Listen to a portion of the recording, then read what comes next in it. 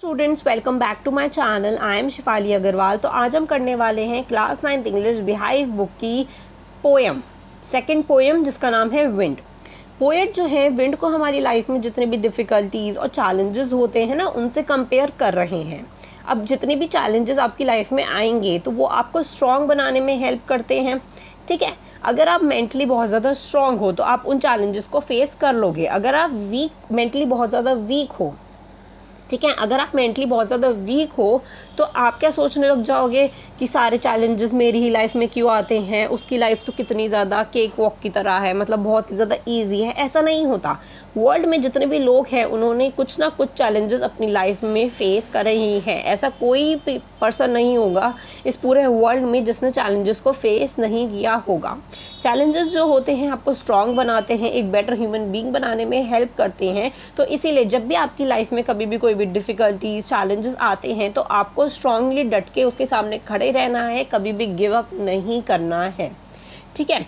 For example चीटी होती है, चीटी के सामने अगर आप कुछ भी रख दोगे तो वो क्या करेगी? मुड़ के वापस चल देगी। फिर आप कुछ रख दोगे, फिर वो वापस चल देगी साइड से।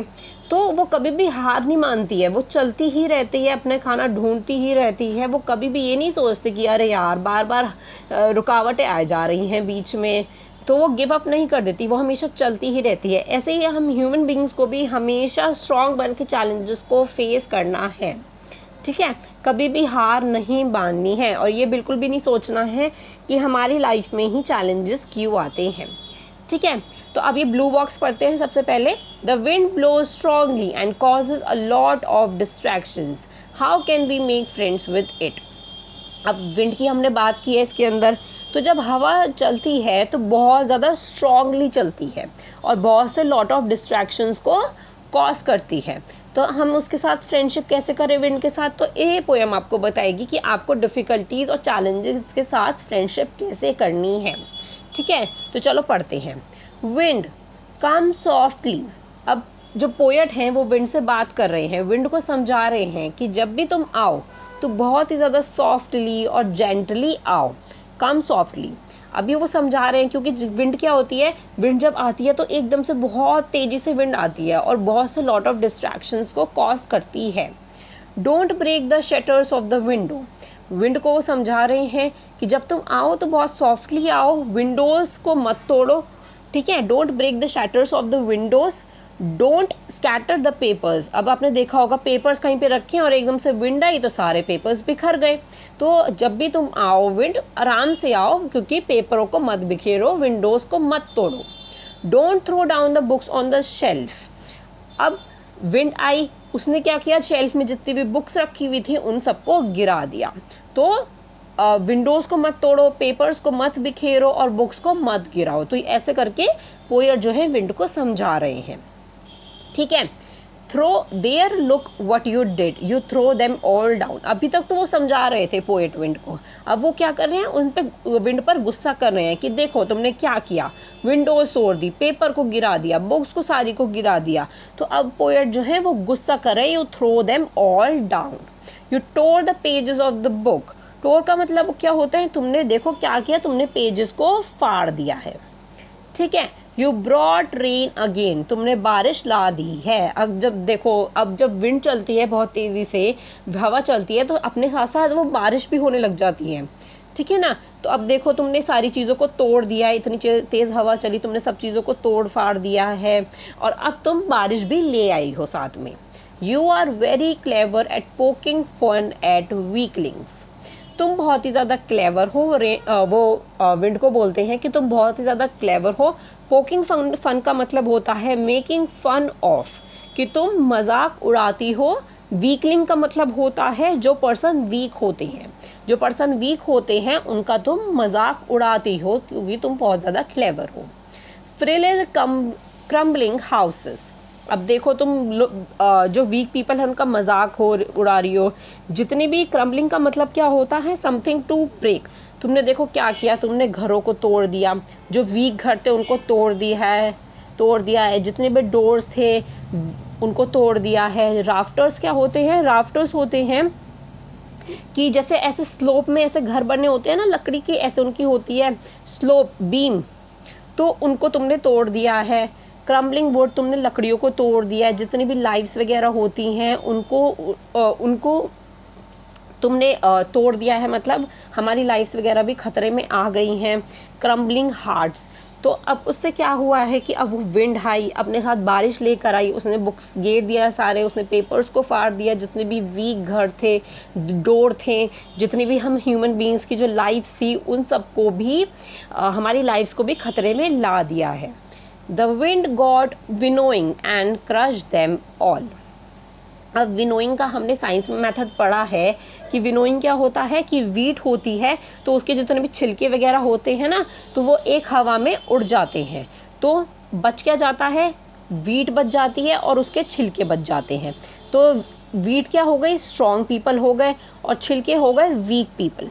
तो इसमें मैंने आपको बताया कि हमारी लाइफ की जितनी भी डिफ़िकल्टीज़ होती हैं, वो स्ट्रॉन्ग और वीक पीपल से कंपेयर की गई है। और इसमें बोला गया है विंड गॉड जैसे हम बोलते हैं ना अग्नि देवता तो ऐसे विंड को भी पोएट गॉड बोल रहे हैं।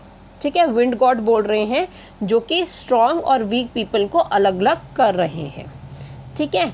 He would not do what you tell him अब विंड क्या है? अगर तुम उसे बोलोगे कि तुम विंड जो है बहुत सॉफ्टली आओ, बहुत जेंटली आओ, अब वो सुनेगी तो है नहीं। मतलब आपकी लाइफ में जितने भी चैलेंजेस डिफ़िकल्टीज़ आएँगी, अब ऐसा तो है नहीं कि आप उनसे बोलोगे डिफ़िकल्टीज़ के, कि आराम आराम से आओ, बहुत सॉफ्टली आओ, हमें बताकर आओ। ऐसा तो पॉसिबल नहीं है ना। जब भी डिफ़िकल्टीज आती है तो आपके बिना परमिशन के आपके वो घर में घुस जाती हैं डिफ़िकल्टीज ठीक है? अगर आप उनको बोलोगे कि धीरे धीरे आओ तो वो नहीं सुनेंगे। So come let build strong home तो चलो, एक मज़बूत घर बनाते हैं। Let join the door family अपने डोर्स को बहुत ही अच्छे से जोड़ लो ज्वाइन कर लो।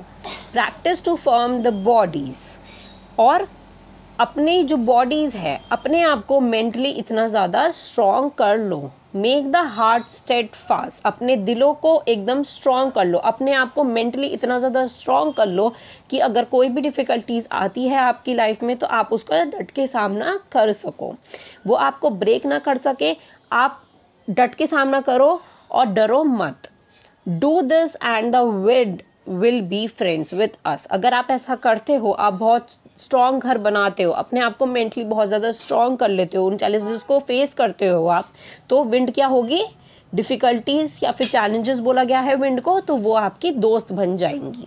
The wind blows out weak fires और विंड क्या करती है? जितने भी वीक पीपल्स होती हैं, उनको अलग कर देती है। जैसे कि विनोइंग का एग्ज़ाम्पल आपको दिया कि वीट के जो छिलके होते हैं, आप उसमें फूक मारोगे तो वो अलग अलग हो जाएँगे। तो विंड क्या करती है?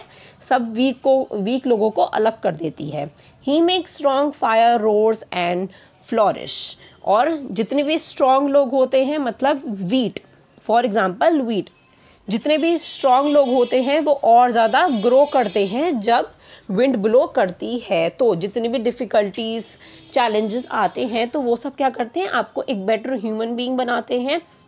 आपको और ज़्यादा ग्रो करते हैं। आपको और ज़्यादा स्ट्रांग बनाते हैं।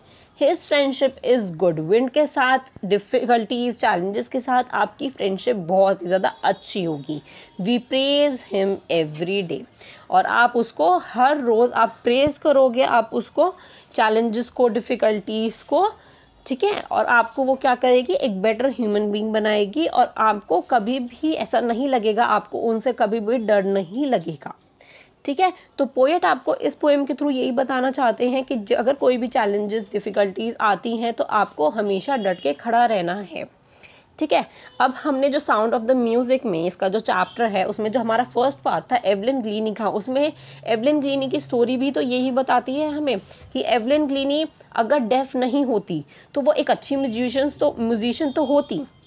हम ये नहीं कह रहे कि वो अच्छी म्यूजिशियन नहीं होती, लेकिन डेफनेस की वजह से जो उन्होंने चैलेंजेस फेस करे हैं अपनी लाइफ में, उसकी वजह से वो इतना ज़्यादा आगे और इतनी अच्छी म्यूजिशियन बन पाई, क्योंकि उनकी लाइफ में एक चैलेंज आ गया था जिन्होंने जो कि एवलिन ने फेस किया उसको। उसके सामने डट के खड़ी रही और उनके, उसके सामने कभी भी हार नहीं माना। ठीक है? तो यही विंड की जो पोएम है, आपको यही मैसेज देती है कि आपको स्ट्रांगली हमेशा खड़े रहना है।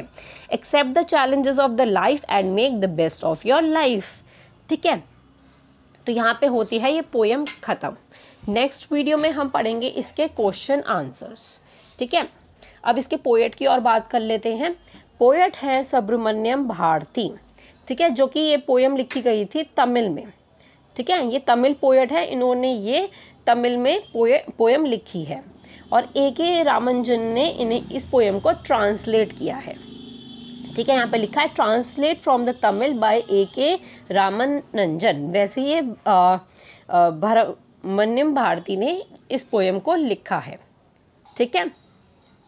तो अब यहाँ पे विंड की पोएम फिनिश होती है। नेक्स्ट में हम करेंगे थिंकिंग अबाउट द पोएम इसके क्वेश्चन आंसर्स तो आई होप आपको ये पोएम अच्छे से समझ आ गई होगी।